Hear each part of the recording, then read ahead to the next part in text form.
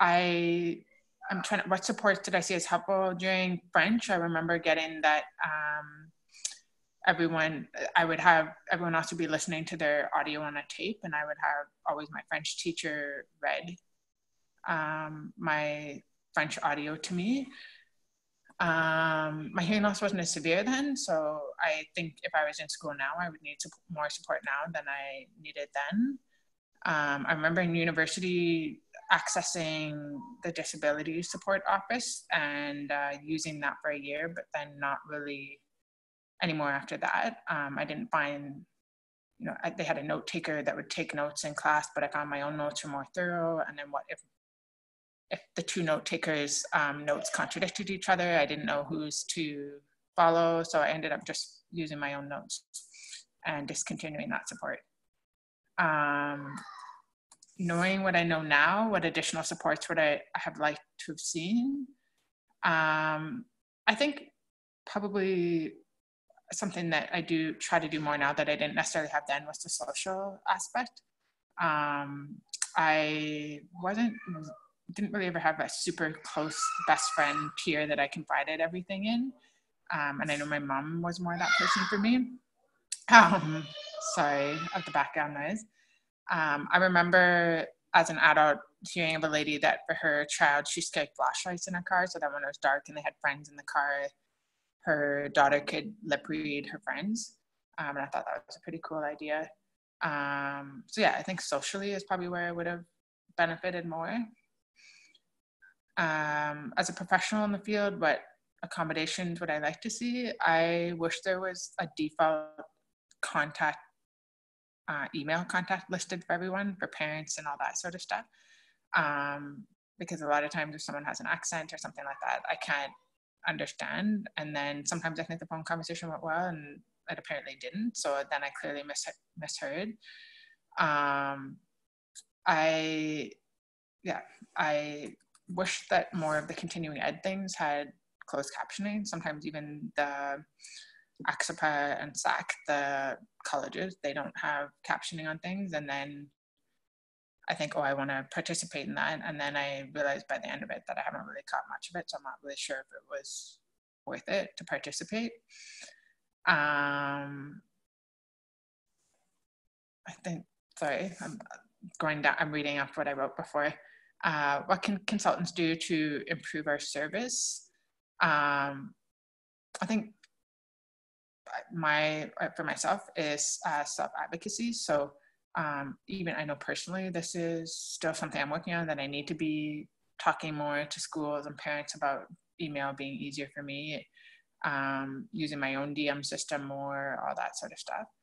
Um, so yeah, I think just realizing that that's something that even as an adult, uh, people with hearing loss struggle with that that it's still something that we need to continually work with the students on um, and that I need to work more with the students on. Maybe other people are doing it more than me um, about why, what is their motivation for not using it? But they, is it because they don't want to inconvenience someone how it affects them socially, things like that. Um, another part is technology. So I'm somebody who gave up my FM pretty early in my school career and uh, it isn't until this year that I started using it again and realize how much easier easier it is when I use it. For example, I'm listening using a Roger to this uh, webcast right now. And then I think another part is the sort of family piece of it that I know we are um, contracted through school, but that um, I was lucky I had a lot of family support who helped me with, um, you know, things. But even knowing that there was things like um, it's easier for me to hear if I'm towards the front of the vehicle. My seat in the van was always in the back of the vehicle because I was one of the older kids, so I, that's just where I had to sit. But you know, if my family had known if I sat in the front where I could lip read everyone better, they probably would have allowed for that. And I just think of things like that. That you know, I was talking to a uh, parent of a child who had unilateral hearing loss, and his good ear was not was towards the window, and um,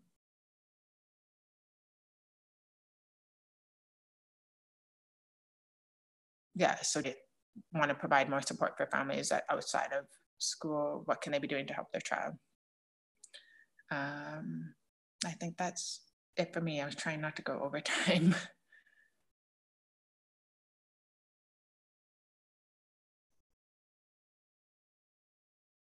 It did start a little bit late, and my apologi- apologies for that. We're going to be hearing from um, Melanie Monahan now. Melanie uh, is working in Eastern Edge RCSD, so she has a large geographic area, and we're going to switch places here as um, as gracefully as we can. So.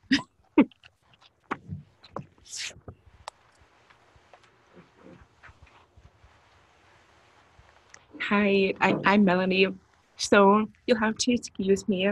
I have a cold, so I'm going to do my best to speak loudly. and Carly, feel free to re-evaluate me if I'm not clear. So I'll start now.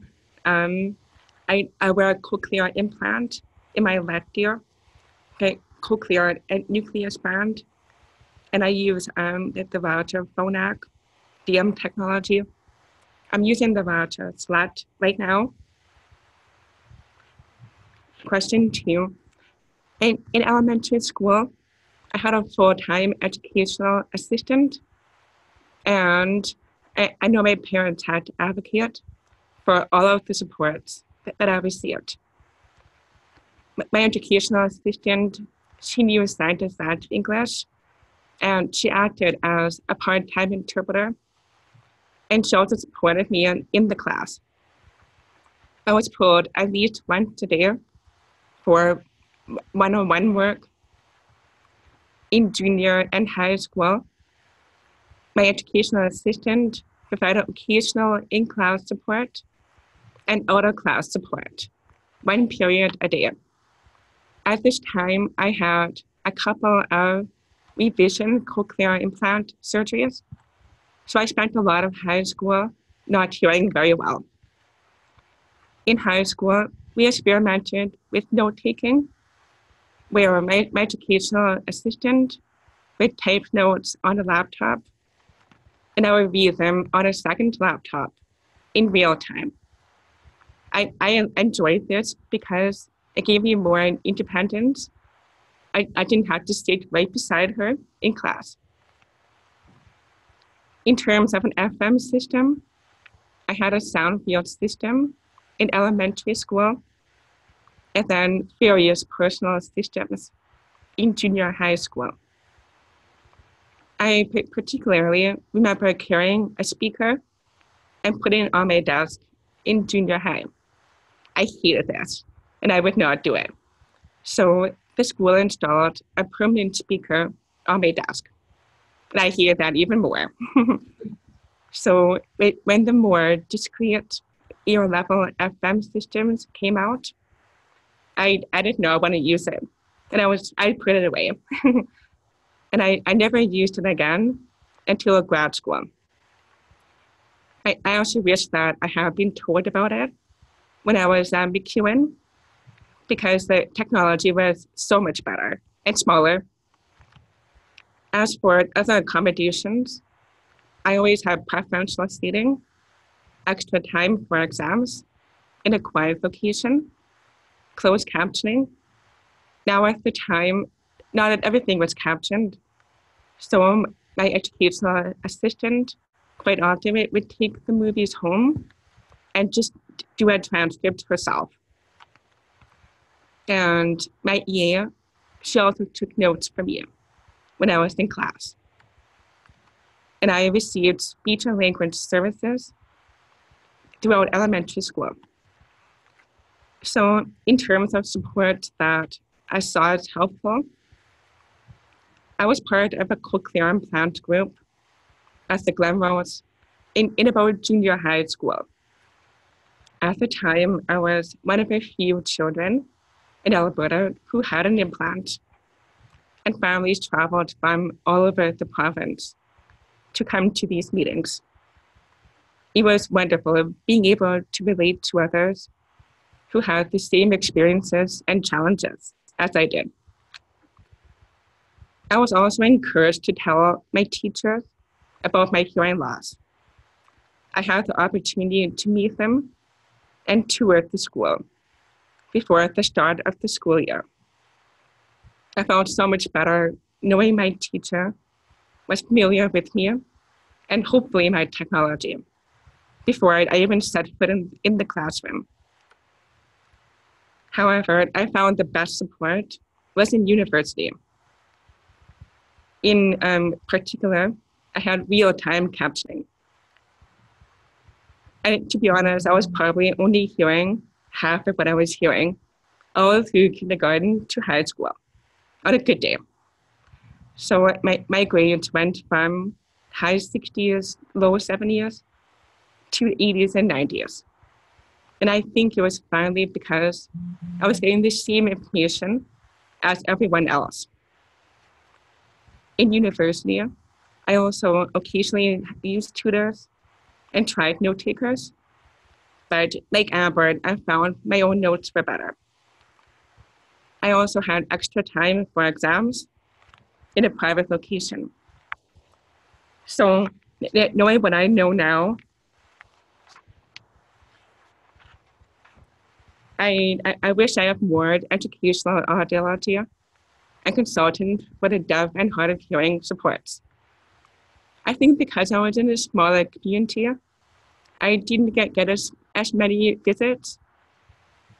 I think I would have benefited from technology and social support and also advocating for myself. I think that uh, the skill shops we put on are, are especially great, and I would have benefited from that. And I, I also wish that, that we would see captioning in, in the classrooms, mainstream classrooms, and not just in university. I know that is very expensive though. And I'm just happy to see that it's being explored in the States.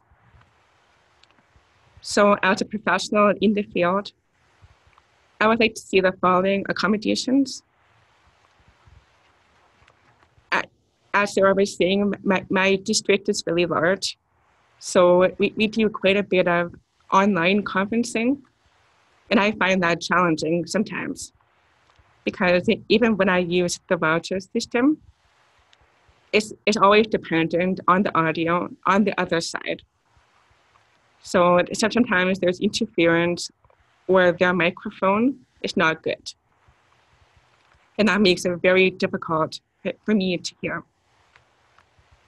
And I, I also wish that email was more widely used because there's still times when I would email someone and it takes forever for them to respond or they don't respond. So sometimes I'll text parents, which is fine. And I, I also try to ask for captioning at webinars and conferences.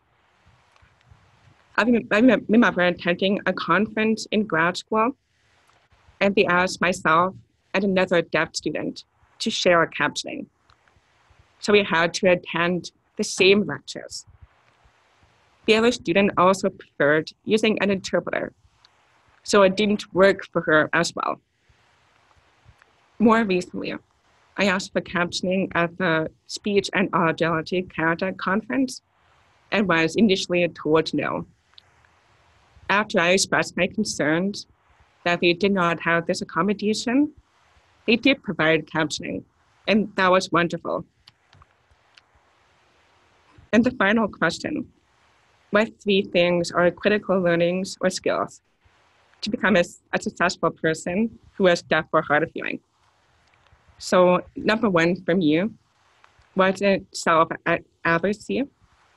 This was not something that I developed until well into university. I think this was because I had full time support all through school. And I, I always had someone who would just kind of step in and solve the problem. So uh, if the FM was dead, she, she, would take it from the teacher and charge it.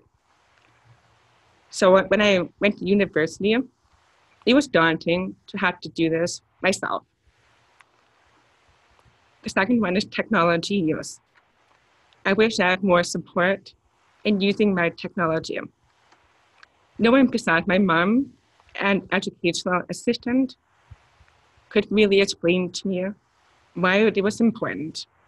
And I didn't always want to listen to them. I also wish I had known about the supports available to me in university, specifically the of technology that came out in undergrad, and that I, I could purchase a laptop under my grant. I don't expect my high school or university to know this. So this is where deaf and hard of hearing support can come in. And the final one is family support. Like Amber, I was very lucky to have a supportive family. But outside of school, not a lot was done to accommodate my hearing loss. Not, because they didn't want to, but they just didn't know. Yeah, they, so I, I found large family events to be uh, very challenging. And I was very happy to see an article on Hearing Like Me, specifically about accommodating your deaf and hard of hearing child at large family events. And that's something that I try to share with my clients. So that's it for me. Thank you. Thank you, Melanie. Um, that's great. And Melanie writes down ha ha behind all of her comments that are funny, but you don't know that there's a ha ha there. um, I'm going to introduce Nancy Galhart now.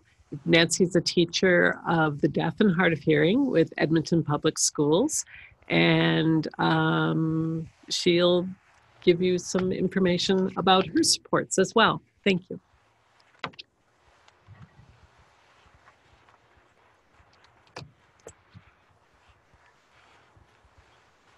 Hello, everyone. Um, my name is Nancy, and uh, one of the questions asked of us to briefly describe our hearing levels and technology.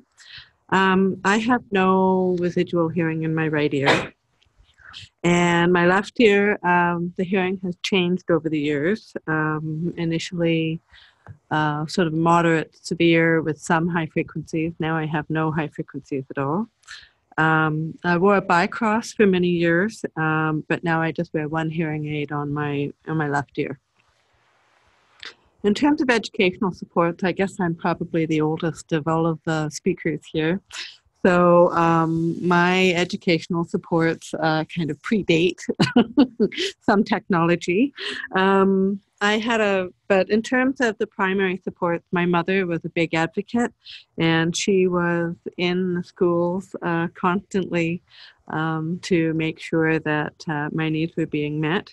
Um, in, ele- in the elementary years, I had a woman who she worked in the role of an SLP. I don't know if she was an SLP. I don't think she was ever formally trained, but that was uh, that was her role, and she came I think she came every week when I was younger, and then it grew to two weeks. By the time I was in junior high school, um, there was another student in the school that I was at, but two years younger, and I didn't associate with boys at that time. Um, so she eventually, by the time I got to the end of junior high school, um, she was in the school, and I went to see her on my own during my own recess times because I'd sort of graduated from the speech things that uh, that um, she was required to do with me. So um, in secondary school, uh, that lady retired, and when I went into high school, uh, my guidance counselor was the go-to, and I really think it's important that students know who um, who their go to person is, that if they are struggling, uh, because we as professionals aren't in there um, as regularly as we would like to be, um, it's important that they have a trusted adult that they can go and speak with, whoever that is in the school. Probably might be their family and the family advocates, advocates, but um, it's nice if there's someone in the school that they can uh, talk to as well.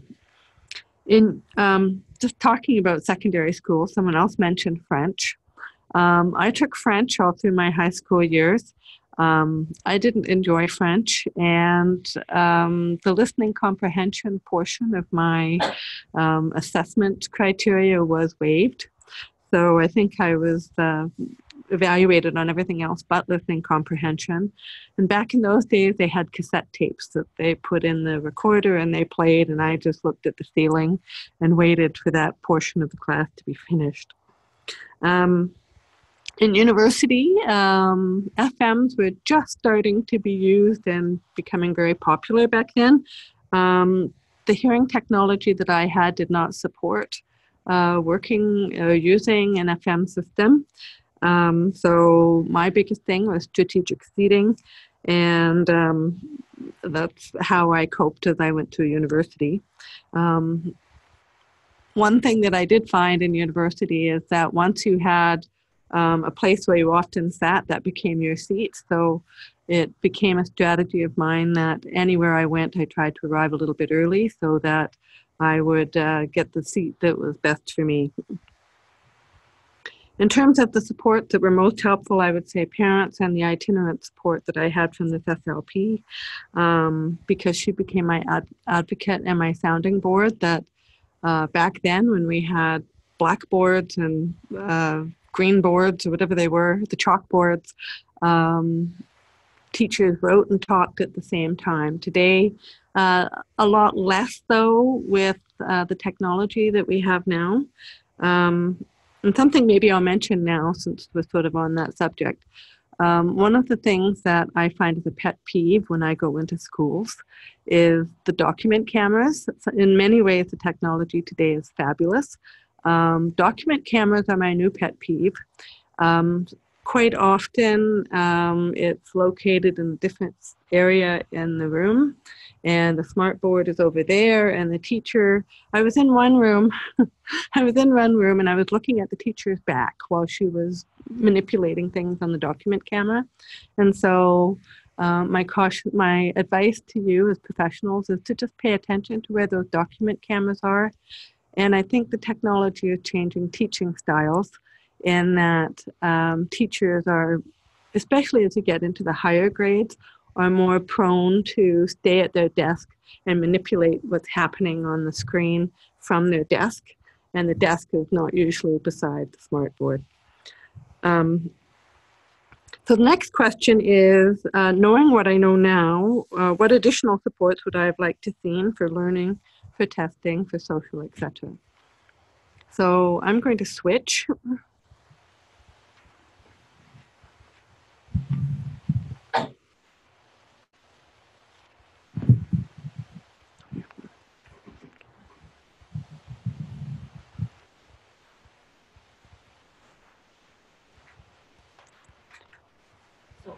Supports that I would have liked to have seen, I would have liked to have access to signing or to sign language.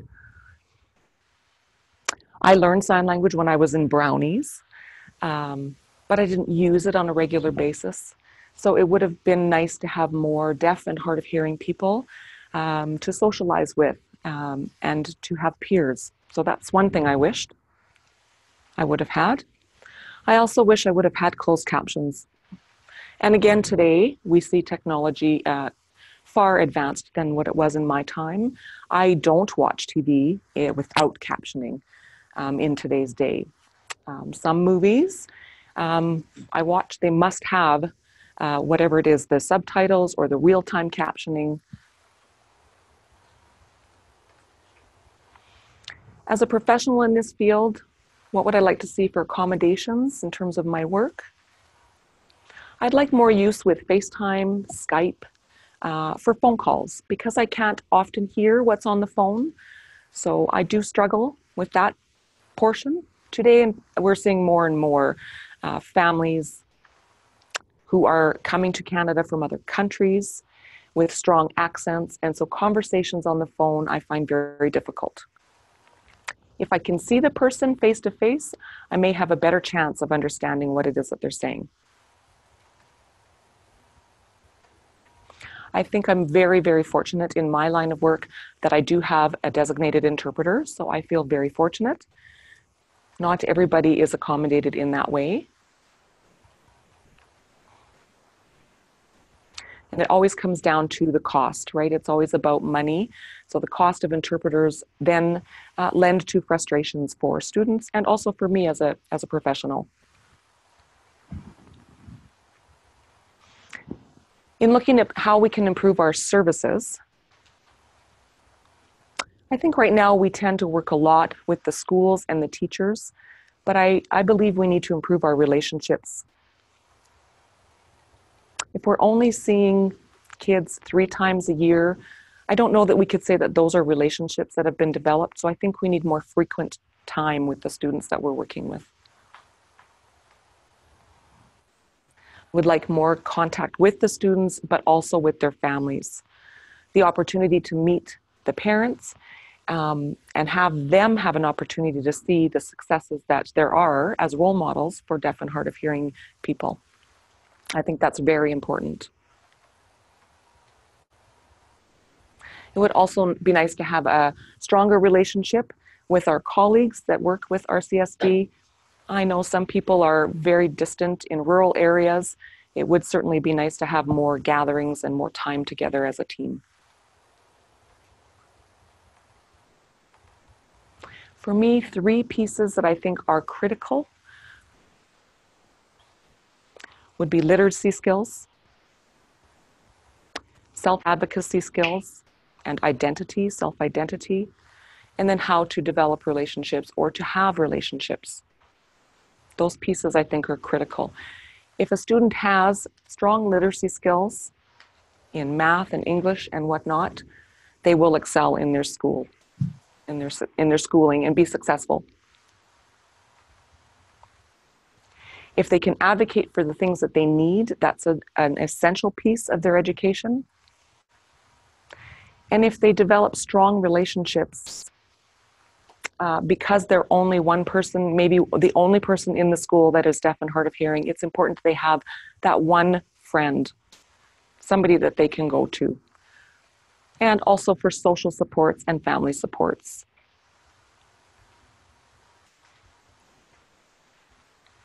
and I'm trying to think about other things, but I think that's that's pretty much it. I appreciate the opportunity to be here today with you.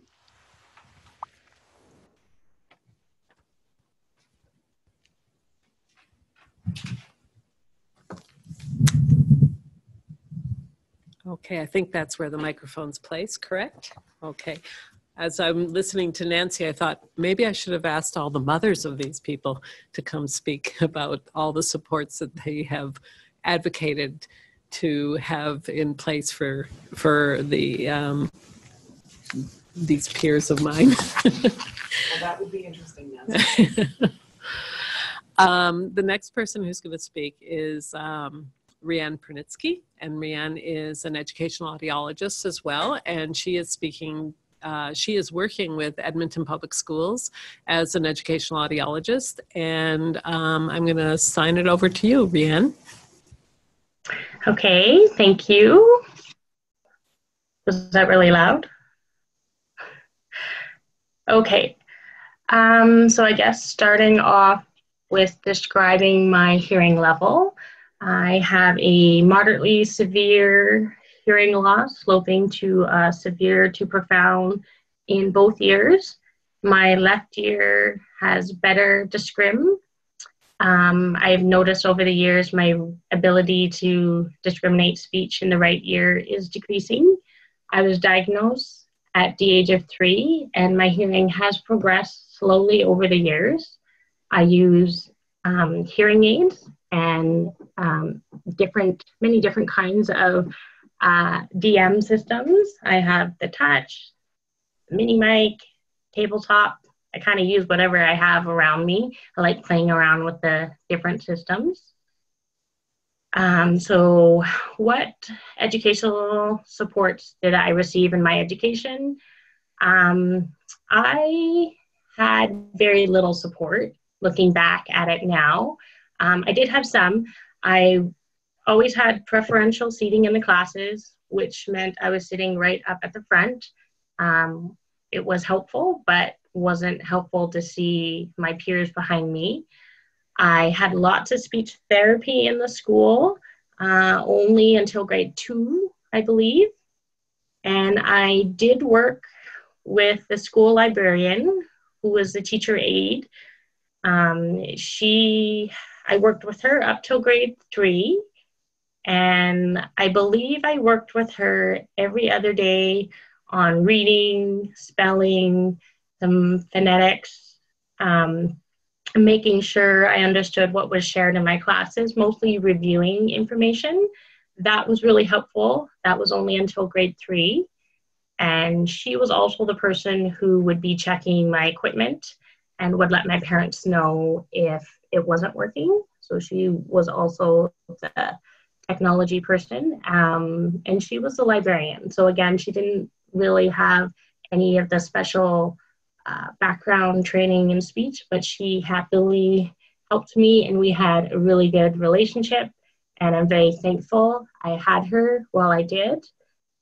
I think the other thing that was really good was I had a really supportive school.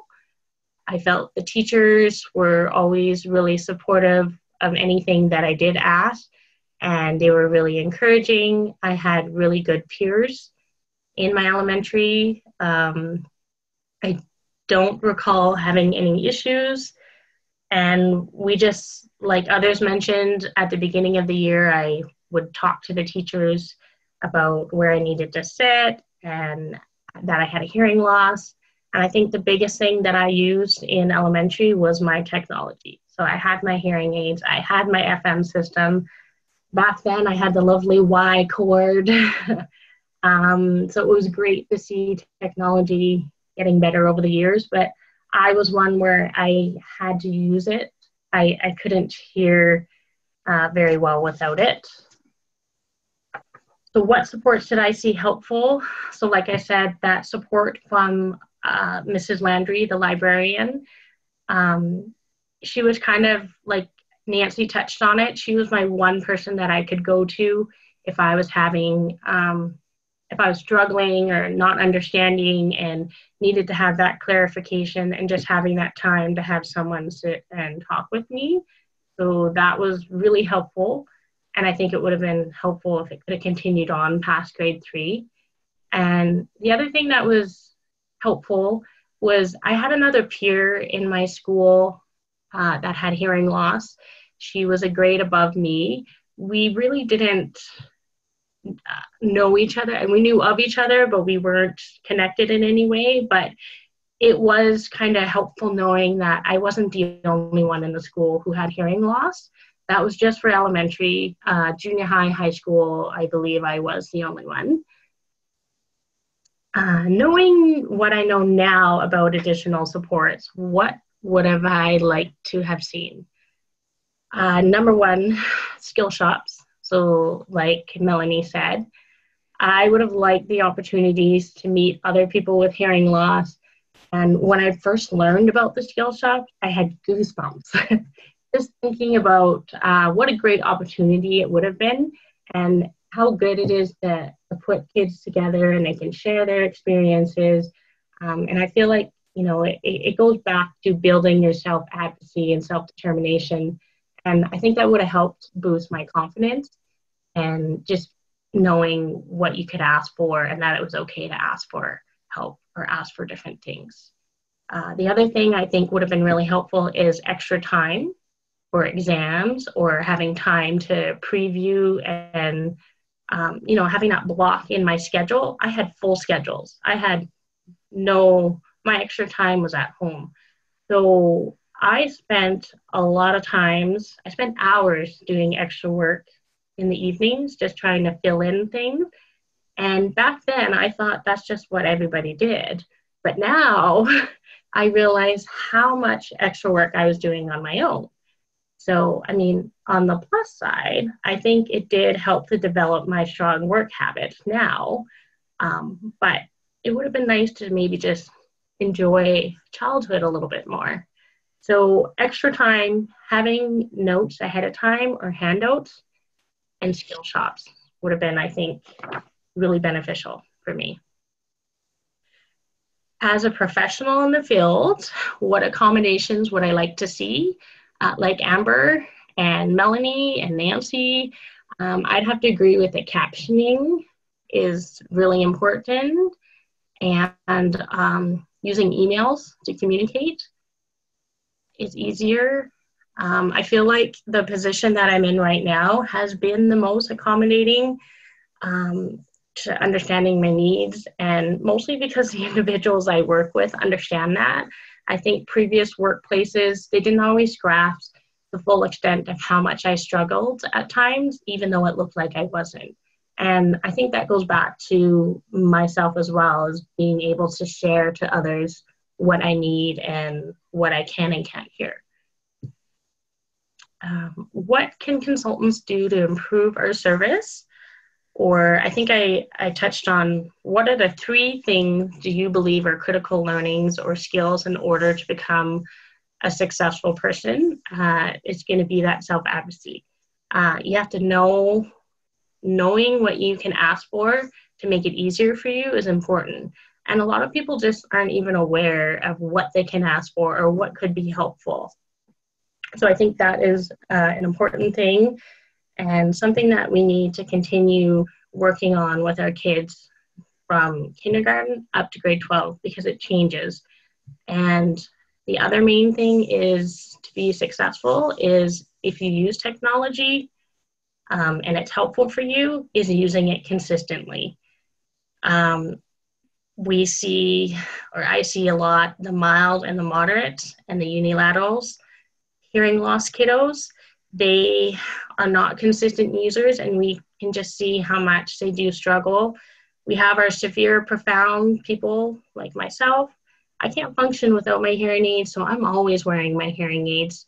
But for those other kids where they feel like they're hearing but they're not hearing, I they just I think the consistent technology would go a long way to help them. And I think uh, important thing that Nancy touched on as well. What can we do to improve our service? I think family support and education is a big thing. You know, although we work for the schools, uh, I feel that we need to work with sharing our information with the families as well. Um, I feel like if the family support or awareness isn't there, no matter how awesome that school is, it's going to fall apart at some point for that child. And so we need to have that support full circle so that they can just carry on. And, um, you know, a lot of time I think parents are, when the child is initially diagnosed, they're shared all this information and it's so overwhelming. And I think sometimes people just assume that parents know this, but they either haven't been able to retain it or they didn't understand it. And a lot of times they just think their child is, is fine or it's okay and they just don't really understand. And I think perhaps maybe we can help with explaining a little bit more and showing parents why they need to do these certain things and why we recommend and why schools are doing that. So I, I do think family support and education is also something that's really important. Um, I don't know if that can be included in our service a little bit more than it has been, but um, that was something that kind of stuck out to me as well. Uh, and like Nancy said, building those relationships with the child themselves. So, And I think that's all that I was going to share for today. Um, I will sign off. Thank you. Rianne. So the last person, and that was great. I really enjoyed your comments. Um, the last person we are having speak is Sandra Vandenhoof. And Sandra is a, an educational audiologist as well, a lot of them. Um, and she uh, works out of Calgary Board of Education. And Sandra's going to uh, talk more about um, as an adult learner, and she'll explain the reason why she's speaking about that. So, Sandra? Hi, everyone. Uh, can you hear me okay? Does it sound okay? Okay, great. So I have um, a, hear, a severe to profound hearing loss in both ears. I have a cochlear implant in one ear and a hearing aid in the other. And I was born with normal hearing. Around preschool age, I was diagnosed with a mild hearing loss. And by the time I graduated from high school, I had severe to profound hearing loss. And I did not receive educational supports until university. So I went to elementary, junior high, high school um, in, in Ottawa in Catholic school. So I'm not sure why that happened. Um, I did not know that educational audiologists or teachers of the deaf existed. So I only started to use a personal FM system um, consistently when I was in university in the um, undergraduate program uh, for communication disorders at the University of Western Ontario. And at, at, at UWO, I met um, my first friend with hearing loss, and that's Peter Stelmacovich, who works for Phonak. So he was a year ahead of me, and he taught me everything he knew. Um, so I had to catch up quickly.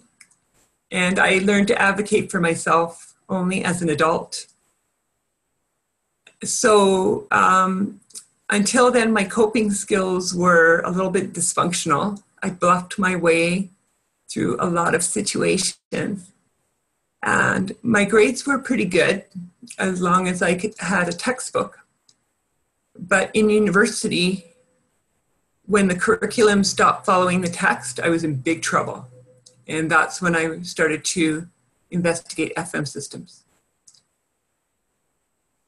So um, I'm going to focus on the last question that Sarah asked. What things do you believe are critical learnings or skills in order to become successful? And because I learned these skills as an adult, they are fresh in my mind. Uh, the first is to self advocate, and that's obvious. But I, I think it's really important to aim high because things get watered down over time. And I have experienced perfection when it comes to a teacher using an FM transmitter effectively. And oddly enough, it, I didn't experience this in university or in the audiology program. The teacher who showed me perfection was possible was a monk in a meditation retreat. And um, he showed me that as long as someone is aware, it's possible to do everything right. And that experience had a lasting impression on me because I know what's, impo- what's possible. And I want that for our students. So I have the courage to aim high, and I think it does take courage. Um, another critical learning uh, for me was to um, drop the stories. So when I was younger, I had the experience of feeling excluded in family and in group situations. But that's not true anymore. Um, for the most part, in groups, I feel included. And the technology makes it easier and easier. But one time recently in a group situation, I the group forgot about me because of the situation the logistics had changed. And all of a sudden, I was right back in elementary school and emotionally. Um, I didn't say anything um, in the moment because I was really upset. But then after the fact, I, I told them all and I was sobbing, bawling. and there were 20 people in the group and they were really taken aback. And I had to explain that I was responding that way because of my history so I, I realized that all of a sudden, all of my similar past experiences were with me and were coloring the situation. Um, and this prevented me from adapting and responding to what was going on right now. So I really learned from that situation. And I can't promise that it won't ever happen again but I'm trying to make a conscious effort to drop the old stories, things that don't apply anymore. Um, another aspect of success is to accept help. It's awkward sometimes to be the one who's slowing things down with a pass around microphone. Um, I noticed that this this week when I did a peer in service with a student and we talked about using pass around microphones, the, the students who want to help, besides their close friends, are sometimes the students that are socially awkward. And maybe they those students want to help because they want to be friends. And, and then also sometimes when people offer to help, they make a really big deal about it and it can feel uncomfortable too. And so my student and I had a discussion about the art of accepting help. And I, I think ideally we should accept help gracefully and gratefully, even if it's uncomfortable. And then my last learning um, is I think it's really important to have the ability to um, rally the troops. Um, so it's important for, for to get fellow students to be part of your team. So um, there's my paper here. Um, so my personal experience with pass around microphones, it works really well when the group becomes involved, when it's part of the group culture. And so it's the group that makes it work. It's not the teacher or the student, it's the, the group that makes the effort. So when I'm in groups, I, I ask for help explicitly. And um, when I'm talking to groups on behalf of students or with students, I ask those groups for help. And when they start to respond, I thank them and I thank them often. Um, and I try and shape their behavior by telling them what helps and what I appreciate. And I tell them how much it means to me because it's hard to feel like I belong when I can't follow the discussion. And those are my learnings in a nutshell.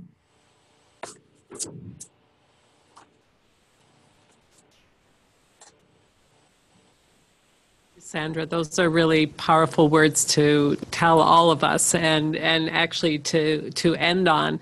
Um, and thank you for sharing uh, the dropping the stories piece as well as as rallying the troops. I it just that's what I did when I called all five of you and asked you if you could share your story.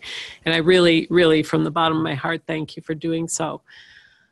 We have a couple of minutes to ask any questions. I'm going to look over to Wayne to see one of the people in the room if there are any questions. No? Okay.